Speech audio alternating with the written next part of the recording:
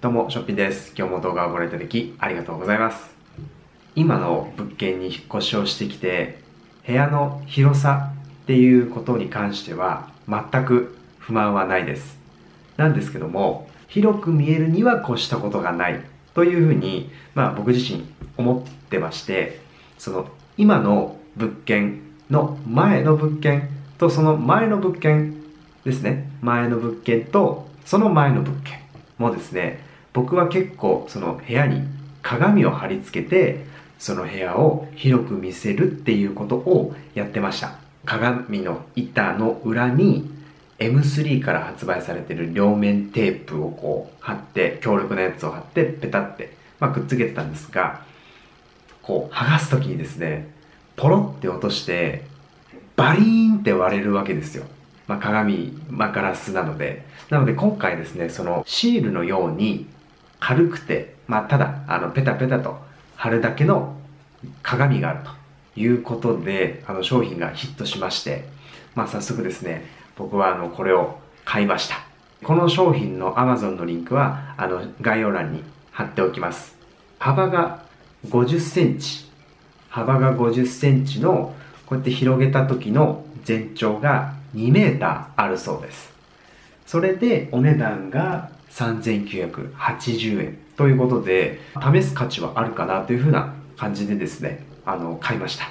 まあ、これもシールなので、本当に厚さもですね、本当にシール並みの厚さなので、全然、あの、ミニマリストとして、うん、そのものが増える感覚は一切ないということで、あの、これを買ってみました。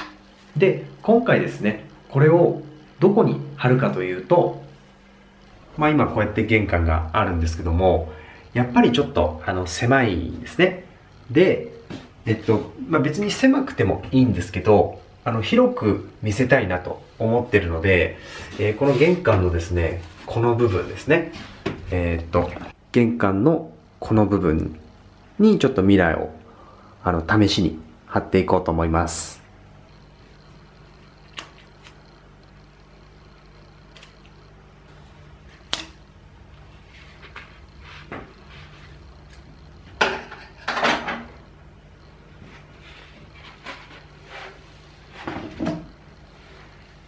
へえこういう。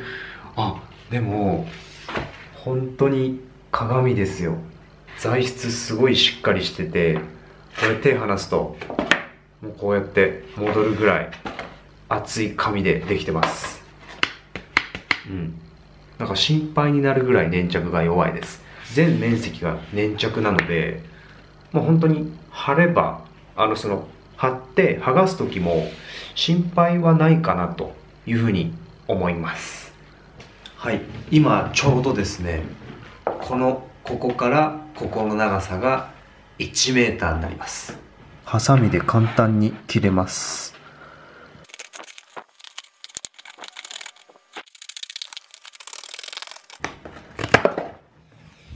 しっかり下に映ってますね。うん。普通の鏡ですこれは。じゃあ早速貼っていきます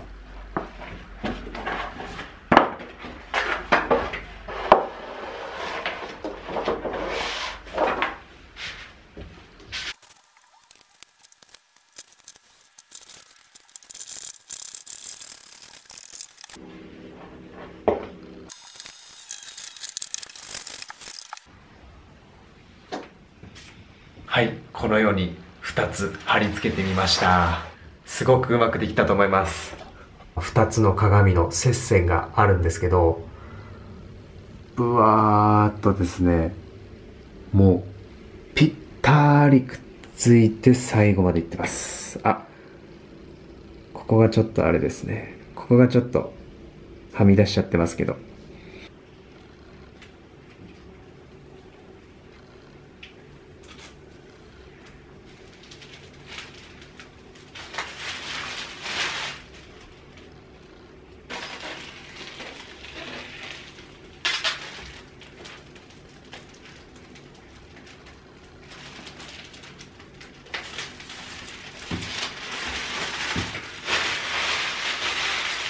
あの、結構ですね、なんか波打っちゃってますね。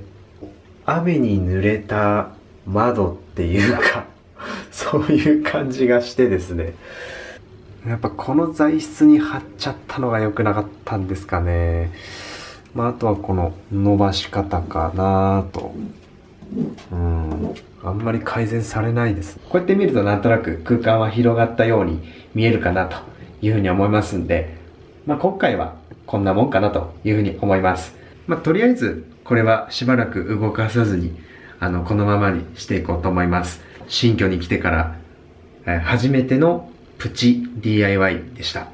ありがとうございました。はいおはようございます。えっ、と一晩経ったんですけどもやっぱり若干波打ってます。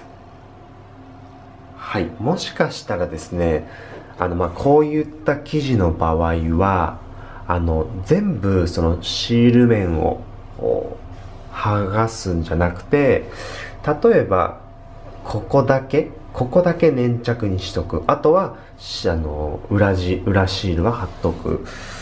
っていう感じで、まあ、この四隅ですね。四隅の部分をうん。四隅の部分だけ粘着にしといてあとは全くあのあとは全くっていうふうにしとけばまあ綺麗に貼れたんじゃないかな。